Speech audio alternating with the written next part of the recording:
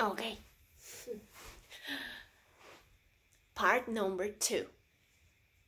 You can mix all the possibilities like like you want. Uh, you can uh, use like yo voy en avión a la playa de viaje. So you can use tres, option tres, uno, dos, and you can you can mix mix mix. Um,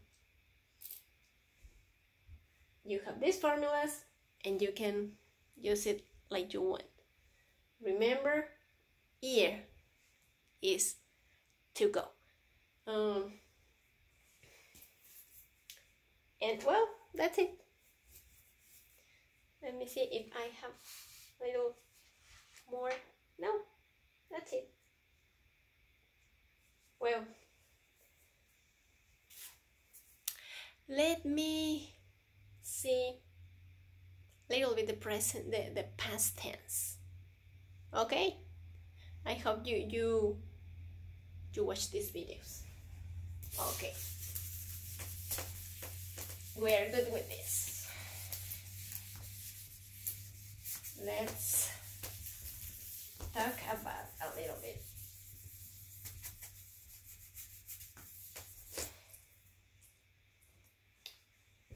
Past tense. Pretended. I don't like that that name.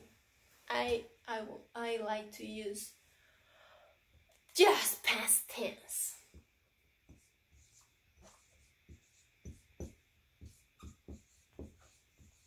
Okay, for past tense, we're gonna talk about past tense only with regular verbs.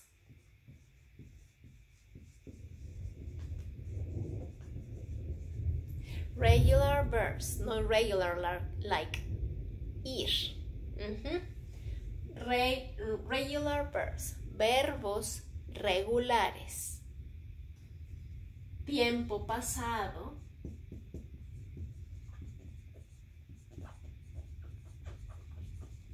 Verbos regulares.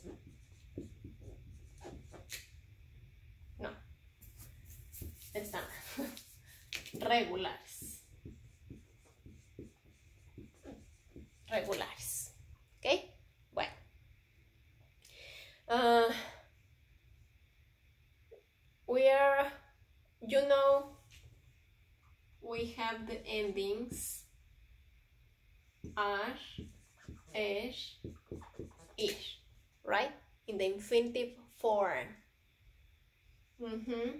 Infinitive form is the base of the uh, the basic form of the verb basic form of the verb. Okay, these three endings is infinitive form.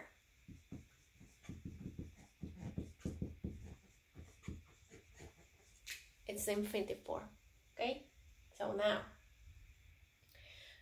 um, for this you have to take the stem of the verb. You have to take the stem of the verb and drop the ending and add the new uh, conjugation form. Okay, so for example, we're gonna work with only this today for the past tense. ER okay?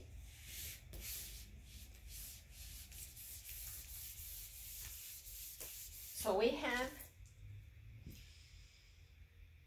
the basic form of the verb. Ah, verb. Okay the basic form of the verb. Infinitive right? Muy bien. Uh, we're gonna work with estudiar study, cantar, to sing, uh, estudiar, cantar, bailar, to dance, See? The infinitive form of the verb, the, uh, the basic form of the verb, infinitive. Endings. So this is the ending, right? This is the ending. This is the ending. This is what makes